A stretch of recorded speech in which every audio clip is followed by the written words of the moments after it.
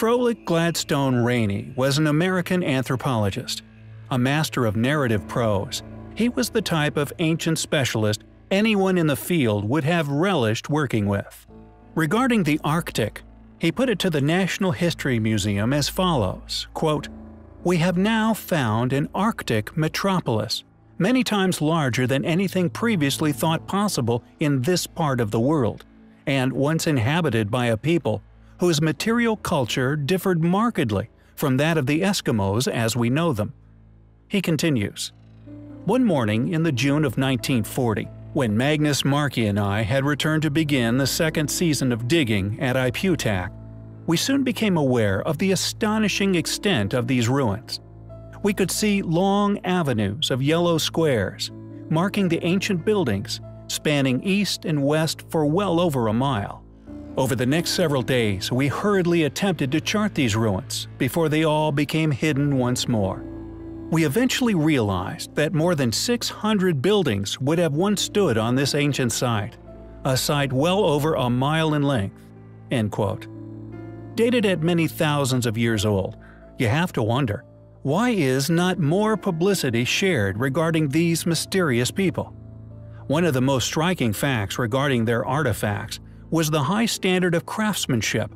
Sophisticated objects have been unearthed which demonstrate a far more complex civilization than the proto-Eskimo culture academia would have you believe inhabited the area. The architectural abilities of this mysterious group also far exceeds the capabilities of other ancient cultures, even as far as Mexico. The largest ancient settlement ever found to have existed in Alaska, it was even bigger than any Arctic coastal village in Alaska or Canada today. The town of Ipiutak would have once been home to more than 8,000 people. Just who were the Ipiutak people? How did they survive so successfully within an Arctic climate many thousands of years ago? Are we looking at a culture far older than we are told? Regardless, one reason to conceal such a fact would be the Bering Strait hypothesis, a hypothesis conveniently crucial to evolution theory, and one which numerous people have lost their careers over. Dr. Scott Elias at the Colorado Institute of Arctic and Alpine Research. As far as orthodox scholarship is concerned, the validity of the Bering Land Bridge route is not up for debate. Regardless of such cult rhetoric, the Ipiutak people are certainly an interesting and controversial bunch, and worthy of future study. We will keep you posted. Froelich Gladstone Rainey was an American anthropologist a master of narrative prose, he was the type of ancient specialist anyone in the field would have relished working with. Regarding the Arctic, he put it to the National History Museum as follows, quote, We have now found an Arctic metropolis, many times larger than anything previously thought possible in this part of the world, and once inhabited by a people whose material culture differed markedly from that of the Eskimos as we know them. He continues, One morning in the June of 1940, when Magnus Markey and I had returned to begin the second season of digging at Ipiutak, we soon became aware of the astonishing extent of these ruins. We could see long avenues of yellow squares, marking the ancient buildings, spanning east and west for well over a mile. Over the next several days, we hurriedly attempted to chart these ruins before they all became hidden once more. We eventually realized that more than 600 buildings would have once stood on this ancient site, a site well over a mile in length. End quote.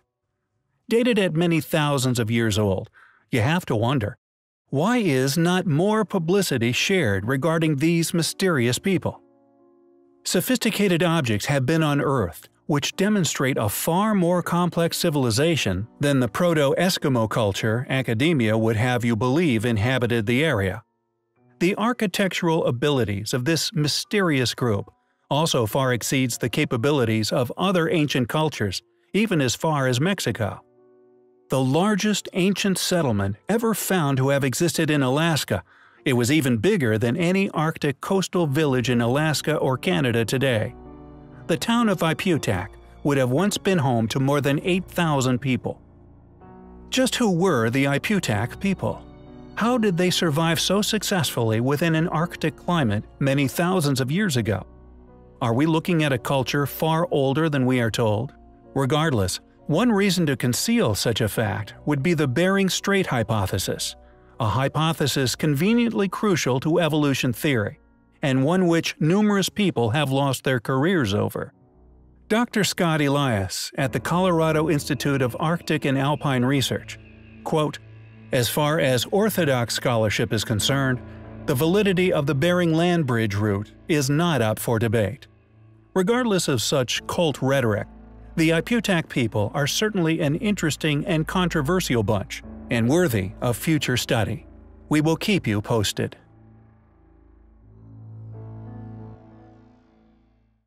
We know more about the surface of our moon than we do of the bottoms of our oceans. To date, we have managed to explore a mere 5% of the floors of Earth's oceans. Much remains to be learned and indeed explored unimaginable mysteries, treasures, and the possible odd sea monster could all still be lying deep within the blackness, irretrievable, and thus undiscovered. Our oceans are the lifeblood of the planet, covering more than 70% of its surface. Responsible for the driving forces behind weather systems, the regulation of global seasonal temperatures, and ultimately, supporting all living organisms in one way or another just what could be laying upon our ocean floors lost relics from a bygone era? Possible crashed ancient alien craft? Indeed, we have already discovered the enigmatic Eltanin antenna, which was discovered resting deep upon the Antarctic seabed, found some decades ago. Yet, what else could be lurking down there, just waiting to be discovered? State Department emails, files, and documents made available to the public by way of WikiLeaks founder Julian Assange, which pertain to the United States government's full awareness of a UFO crash site near the populated northern town of Igloolik, northern Canada, very near to the borders of Greenland.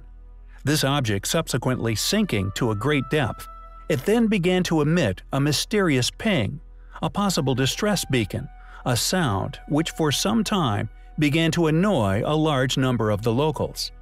Since this event a few years ago, the strange ping has seemingly disappeared, and the fate of its source remains a mystery. Just what this thing was may remain a mystery, or at least kept secret, hidden away from most of the public domain.